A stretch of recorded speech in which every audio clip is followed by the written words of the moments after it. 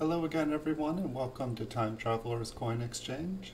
The next coin we're going to take a look at is a 1958p Lincoln Wheat Cent. It's a business strike coin from the Philadelphia Mint.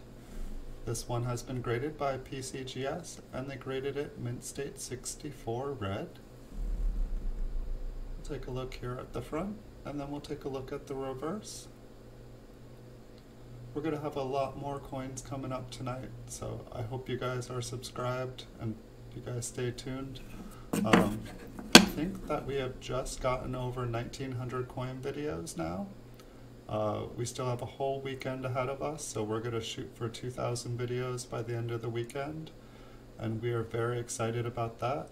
If there's anything you guys would like to see, any coins that I can get for you guys to make videos of, just please leave a comment. I'd be happy to do my best to fulfill your guys' uh, desires to see whatever coins you guys like.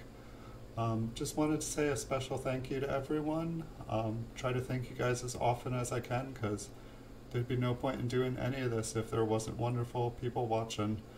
Um, so thank you. Thank you for subscribing. Thank you for the kind comments. Um, I wish you guys a great day. I'm going to take a little break here and uh, I'll be back with a lot more coins for you guys. So stay tuned.